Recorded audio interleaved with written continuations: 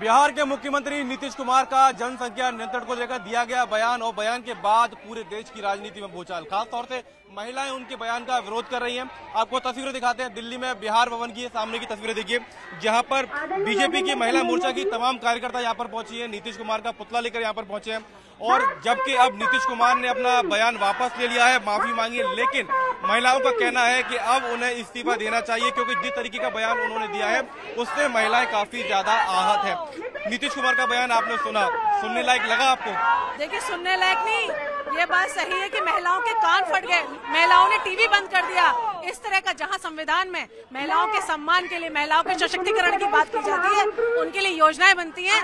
वहाँ पर उन्होंने महिलाओं की इज़्ज़त को तार तार कर दिया। इस तरह से वो सेक्स एजुकेशन या या क्या कहते हैं पॉपुलेशन के लेके बात करते हैं। किस महिला को क्या नहीं पता? क्या इस तरह से ही बात की जाती है? उन्होंने एक रेपिस्ट से लेके उससे नीचे काम नहीं किया है। उनकी सजा जो एक रेपिस्ट को मिलती है, उस तरह की सजा मिलनी चाहिए। ये महिलाओं की मांग है। कि उनको तुरंत तत्काल प्रभाव से उन्हें इस्तीफा दे देना चाहिए। आज सुबह नीतीश कुमार जी ने कहा कि माफ़ी मांग लेता हूँ अगर किसी की भावनाएँ आहत हुई है तो। अगर किसी की भावनाएँ आहत हुई है। ये ये क्या मतलब हुआ? पहले तो नारी को महिला को पूरे सदन में नंगा कर दो फिर उसको साड़ी उड़ा दो फिर तुम माफ़ी मांग रहे हो। नहीं नीतीश कुमार जी तुमने तो तुम्हारे घर में भी तो महिला है। उनकी बीबी उनकी माँ उनकी बेटी तुमने तो अपनी महिला को सम्मान नहीं करा क्योंकि नारी सब एक समान है। नारी का सम्मान सबसे बड़ा है। नारी का सम्मान जहाँ मोदी जी। कन्या पूजन करे। ना, नारियों के लिए इतनी योजना निकाली है। और नीतीश कुमार जी तुम तो चार बार सीएम रह चुके हो। तुम्हें तो शर्म आनी चाहिए। और तुम सेक्स एजुकेशन की बात करते हो। सेक्स एजुकेशन की बात करनी है। पहले लालू को समझा जिसने बारह बारह बच्चे कर रखे हैं। और फिर वहाँ पे मैं कहती हूँ एक महिला विधायक कांग्रेस की भी थी। शर्म आनी चाहिए तुम। तुम महिला के, महिला को अपमान सदन में कर रहे हो। तुम कैसे विधायक हो? और मैं कहती हूँ, इस टाइम पार्टी नहीं देखनी चाहिए। जितनी नारी शक्ति है, सबको एक हो जाना चाहिए।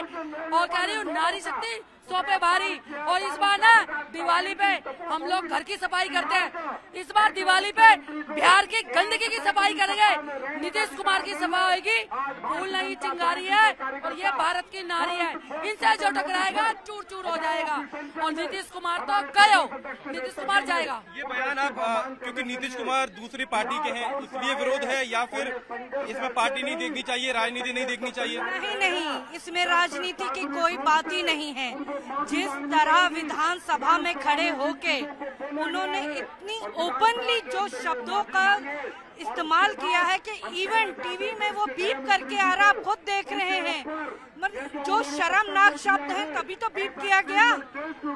उस शब्दों की वजह से कि महिलाओं का अपमान जो वो कर, किया है उन्होंने, और जिस तरह को एजुकेशन क्या सिखाना चाहते हैं नीतीश जी? आप सीएम है जो सीएम ऐसी वलगर और अभद्र भाषा की इस्तेमाल करे विधानसभा में, उसे तो तत्काल में क्या निकाल के बाहर कर देना चाहिए था। शर्म ये इस भारत के जो पीएम है, वो महिलाओं का इतना सम्मान करते हैं, पहले फ़र्स्ट प्रायोरिटी उनकी यही रही है, प्रधानमंत्री जी की, कि महिलाओं को सम्मान देने का। और वहीं बिहार में कि सीएम होने के बाद आप किस तरह एजुकेशन पॉपुलेशन एजुकेशन पे बात करते हैं। मुझे हमें नहीं। यहाँ भारत की हर नारी को शर्मसार हुई है। आपने सभी का अपमान किया है। आपको गद्दी छोड़ देनी चाहिए। शर्म ये पार्टी की बात नहीं है। आप पुरुष हैं आपके अभी बहन बेटियाँ हैं। क्या उन्हें भी समझाएँगे आप? कि क्या आप कहना चाहते हैं? आपको क्या लगता है उनका शब्दों का चयन गलत था या मन में एक भावना थी वो गलत थी? क्योंकि वो ये कह रहे हैं कि सेक्स एजुकेशन बहुत ज़रूरी है। वो तो गलत ही कर रहे हैं जो भी कर रहे हैं। कोई अच्छा नहीं कर रहे मैं दो लाइन मोदी जी के लिए कुछ बोलना चाह रही हूँ। आए हैं नारी शक्ति पूरी तैयारी करके। आए हैं नारी शक्ति पूरी तैयारी करके। सेवा हमें है करना।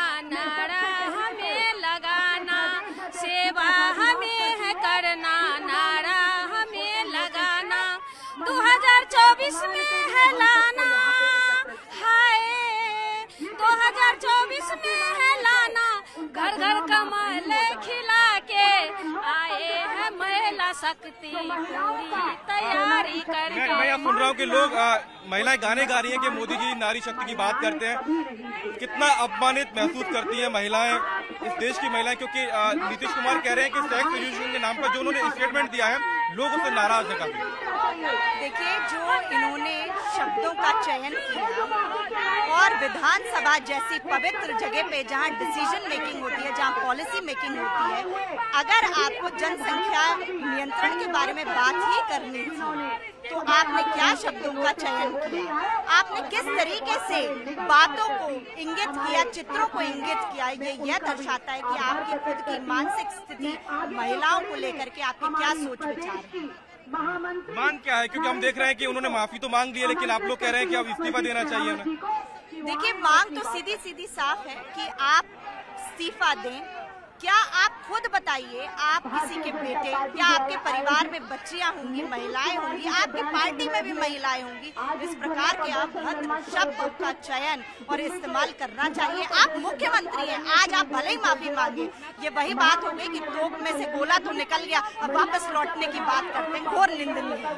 देखिए कि शब्दों का चयन कैसा होना चाहिए, उसको लेकर भी विरोध है। विरोध इस बात को लेकर भी है कि जो पटल था, जहाँ पर नीतीश कुमार बोल रहे थे, वो वो जगह नहीं थी जहाँ से इस तरीके से ऐसी भाषा का इस्तेमाल किया जाए। और उसी को लेकर यहाँ पर बीजेपी के कार्यकर्ताओं का विरोध है, जहाँ पर तमाम महिला मोर्चा की जो कार्यकर्ता है वो यहाँ पर पहुँची है और लगातार जो विरोध है वो यहाँ पर बिहार भवन, जो कि दिल्ली के चाणकपुर इलाके में है, कौटिल्य मार्ग पर, यहाँ वो विरोध हम देख पा रहे हैं। नीतीश कुमार के खिलाफ आप लोग नारेबाजी कर रहे हैं।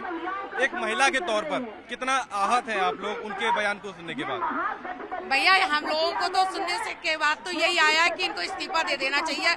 हम भारत की नारी हैं। और देवियों की तरह नारियों को पूजा जाता है। अगर आप उनका अपमान कर रहे हो तो ये बहुत गलत बात है। आपको इस्तीफा ही देना चाहिए। माफ़ी से नहीं चलेगा। माफ़ी से नहीं चलेगा। आपने उनका बयान सुना। बयान सुन के मन में क्या आया? मन में यही आया कि पहले तो जो हमारी नारी शक्ति बाहर इकट्ठी हुई है पहले तो वो अपना चेहरा मैं तो ये समझ नहीं आती उनके घर परिवार में भी बहू बेटी बहने होंगी वो अपने घर में भी अपना चेहरा किस प्रकार से दिखा रहे हैं? क्योंकि हमारे जो हमारा जो सनातन समाज है वो हमेशा देवियों की पूजा करता है और आज इस तरीके का अपमान, ये घोर अपमान और अश्लीलता को हदे पार करी है नीतीश। ने हम नीतीश जी भी नहीं बोलेंगे, नीतीश ने ये हदे पार करी है उसको बिल्कुल इस्तीफा देना ही देना होगा। घर में आपकी बातचीत हुई होगी, परिवार वालों से ये स्टेटमेंट आया कि वो टीवी सभी लोग देखते हैं। क्या घर में बातचीत हुई आपके? इस स्टेटमेंट को घर में आसपास लोग कैसे देख रहे हैं? हमारे यहाँ यही बोल रहे हैं कि ये नेता पागल हो मतलब मेंटल हो गया है। मतलब उसे सीधा हॉस्पिटल जाना चाहिए। जहाँ महिलाओं को पूजा जाता है, वहाँ इस तरह की अभद्र भाषा का प्रयोग ये हमारे नेताजी कर रहे हैं। इनको इस्तीफा दे देना चाहिए क्यों पचास परसेंट महिलाएँ हैं। और उन्हीं का तुम अपमान कर रहे हैं। अपमान भी ऐसा कि ये शब्द मैं आपको बोल नहीं सकती हूँ। परिवार के लोग बहुत नाराज़ हैं आक्रोश है परिवारों में, कि इस तरह के नेता कैसे बन गए नेता? आदि आबादी का अपमान है पूरी तरीके से। बिल्कुल बहुत ज़्यादा। देखिए इससे ये पता चलता है कि अगर वो आ, अपने आप को अगर पढ़ा लिखा बोल रहे हैं तो कितने बड़े पढ़े लिखे गवार हैं। कितने बड़े।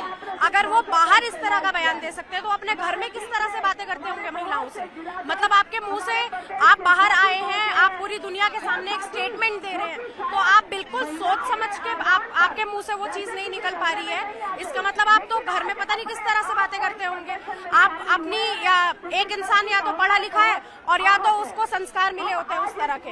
तो या आपकी पढ़ाई लिखाई भी नहीं दिख रही ना तो आपके संस्कार दिख रहे हैं। दोनों में से कुछ भी नहीं दिख रहा। आप लोग नीतीश कुमार के संस्कारों पर सवाल खड़े कर रहे हैं माफ़ी मांग ली उन्होंने तो गलती हो गई कह रहे हैं। ये तो वो हो गया की एक बार थूका दोबारा से खुद ही चाट लिया खुद कहा खुद ही मतलब माफ़ी मांग ली क्या हो गया काम। लेकिन ऐसा नहीं है। जहाँ नीतीश कुमार जी अपने आप को प्रधानमंत्री पद का दावेदार घोषित करते हैं वहाँ कम से कम ये तो सोचे जो हमारे देश के माननीय प्रधानमंत्री श्री नरेंद्र मोदी जी किस तरीके से महिलाओं का सम्मान करते हैं, जिन्होंने अभी हाल ही में तैतीस परसेंट आरक्षण महिलाओं को दिया है। वहाँ नीतीश कुमार जी इस तरीके के बयान व्यक्त करते हैं महिलाओं के लिए। उनको शर्म आनी चाहिए कि हम किस तरीके का बयान दे रहे हैं महिलाओं के लिए। उन्हें ये एक बार सोचना चाहिए मेरे घर में भी बहन है, बेटी है, माँ है। उन्हें ये बात कहने से पहले बहुत कुछ सोचना चाहिए था। लेकिन अब जो भी हुआ, ठीक है, लेकिन इसके बाद इसकी कोई माफ़ी नहीं, कोई कुछ नहीं, सिर्फ़ और सिर्फ़ इस्तीफा माफ़ नहीं करेंगे क्या नीतीश कुमार को? नहीं, हम बिल्कुल भी माफ़ नहीं करेंगे। मैं इतना ही कहूँगी कि नीतीश कुमार जी को इतना तो सोचना चाहिए, कम से कम अपने घर में भी तो महिलाएँ हैं। देश का और राष्ट्र का तो समझ में आ गया, चलो ठीक है। लेकिन उनको ये पता होना उनकी भी परिवार में महिलाएँ होंगी, अब किस तरह से, और मोदी जी ने तैतीस परसेंट महिलाओं को आरक्षण दे रखा है। और महिलाओं की हर वक्त पूजा होती है। देश, भारत देश एक ऐसा देश है जहाँ महिलाओं को हर वक्त पूजा जाता है। और उसके बावजूद भी उन्होंने इस तरह के बयान दिए, शर्म आनी चाहिए उनको। अब माफ़ी मांगने से कुछ नहीं फ़ायदा है, क्योंकि जब बात निकल जाती है, फिर उसके बाद कुछ भी नहीं होना। गलती हो गई, कह रहे हैं, माफ़ी मांग रहे हैं, अगर किसी की भावना आहत हुई है तो। जिस प्रदेश का मुख्यमंत्री इतना अवध शब्द का प्रयोग करता है महिलाओं के लिए, मैं तो ये कहना चाहूँगी शायद बिहार इसीलिए इतना पीछे रह गया। सही है? क्योंकि बिहार की महिलाएँ इतनी डेवलप नहीं कर पाई। शायद ऐसे देश मतलब प्रदेश के मुख्यमंत्री हैं वहाँ पे। पहले लालू जी ने प्रदेश को खराब किया, अब नीतीश जी जो ऐसे बयान दे रहे हैं तो ये मुझे नहीं लगता कि महिलाओं के लिए सम्मानजनक था।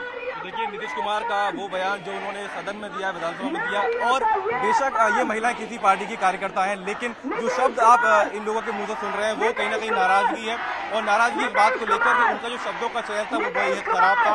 और फ़िलहाल तो बीजेपी के महिला मोर्चा से नीतीश कुमार को माफ़ी यहाँ पर नहीं मिलती हुई दिखाई दे रही है। के न्यूज़ एटीन इंडिया, दिल्ली।